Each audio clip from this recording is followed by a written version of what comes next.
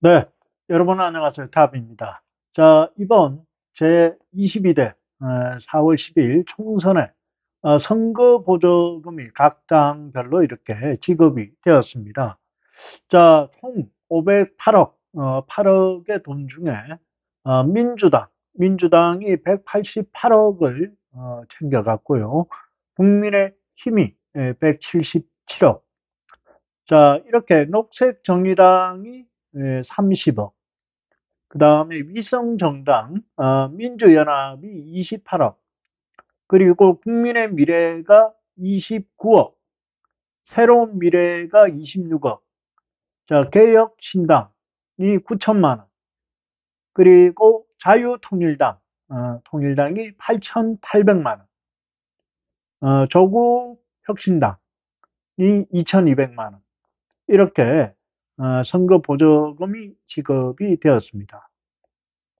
자, 중앙선관위는 어, 제22대 총선에 후보자를 추천한 11개 어, 정당을 대상으로 선거 보조금 총 508억을 지급을 했다 하고 25일 오늘 발표를 했습만 자, 선관위가 배포한 보도 자료를 이렇게 참고해 보면 총 508억 1,300여만 원을 해당 보조금 어, 정당에 지급이 되었습니다.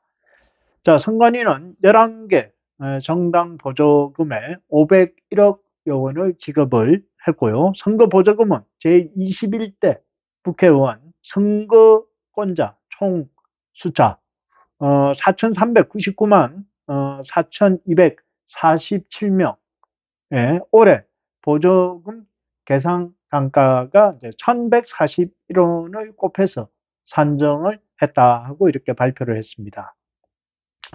자, 정치자금법 제27조, 27조에 따라 지급 시준, 시점을 기준으로 어, 동일 정당의 소속 의원, 교섭단체를 구성한 정당, 어, 여기에는 이제 더불어와 어, 국민의힘이 총액의 50%를 균등 어, 배분하고 다섯 사 다섯 석 이상의 어, 그리고 20석 미만의 의석을 가진 어, 정당. 어, 그건 뭐 지금 더불어민주연합과 이제 국민의 미래, 녹색정의당, 어, 새로운 미래 에, 등에는 총액 5%를 배분하는 것으로 이렇게 에, 정당법 어, 정치자금법에 이렇게 에, 예, 규정이 되어 있다고 하네요. 아, 의가 없네. 자, 그리고 어석이 없거나 아, 5석, 5석 미만에 가진 정당은 어, 최근 선거의 득표수 비율을 일정 요건으로 해서 어, 충족한 정당, 어, 진보당, 그리고 이제 기후민생당에 대해서는 총액의 2%, 2%를 배분한다. 이 돈이 작지가 않아요. 뭐 기후 민생당 이거 뭐 덮보잡인데 여기가 10억 이상 우리 이렇게 세금으로 나가는 게 참 이해할 수 없는 부분은 좀 있네요. 자 그리고 자녀분 중 어, 절반의 절반은 어석수 비율로 어, 나머지 절반은 제21대 국회의원 선거의 득표수 비율에 따라서 이렇게 배분을 한다 이렇게 정해져 있습니다. 자 이에 따라서 140 이석인 어, 민주당이 188억 8,200 8,128만 원, 어, 37.61% 그리고 101석인 국민의힘이 177억 2,361만 원, 35.31%를 받아갔습니다. 자 그리고 이제 위성정당, 위성정당인 어, 더불어 민주연합이 28억 2,709만 원. 그리고 13석 국민의 미래가 28억 4,443만 원. 28억 443만 원. 5.59%가 배분이 되었습니다. 자, 그리고 6석을 가지고 있는 녹색 정의당이 30억 4,846만 원. 그리고 다섯 석을 가지고 있는 새로운 미래가 26억 2,316만 원. 네석을 가지고 있는 개혁신당은 9,063만 원.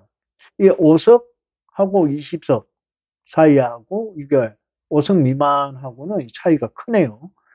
자, 그리고 한석의 자유통일당, 그리고 조국 혁신당, 진보당은, 어, 일단 자유통일당은 8,882만원, 조국 혁신당은 2,265만원,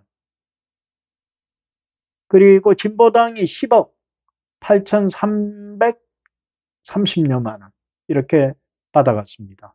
자유통일당이 0.18%, 조국 혁신이 0.05%, 그리고 진보당이 2.16%를 이렇게 받아갔습니다.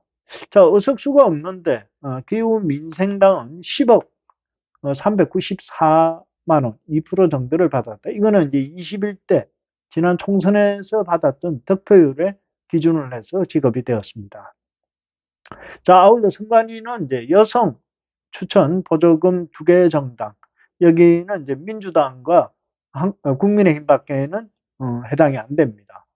어, 다른 데는 추천한 부분이 없기 때문에 자, 두 개 정당에 4억 3천만 원 장애인 추천 보조금으로 어, 두 개 정당에 1억 7천여만 원이 지급이 되었습니다.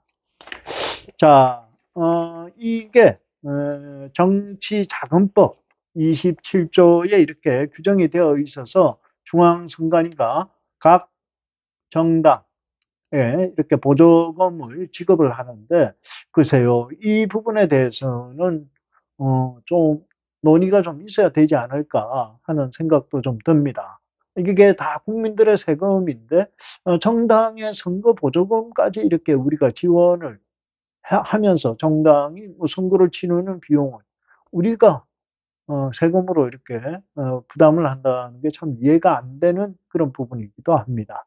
자, 이번 2024년 어, 4월 10일 제22대 총선에 어, 선거보조금이 총 508억이 어, 지급이 되었다 하는 얘기를 드립니다. 감사합니다. 탑입니다.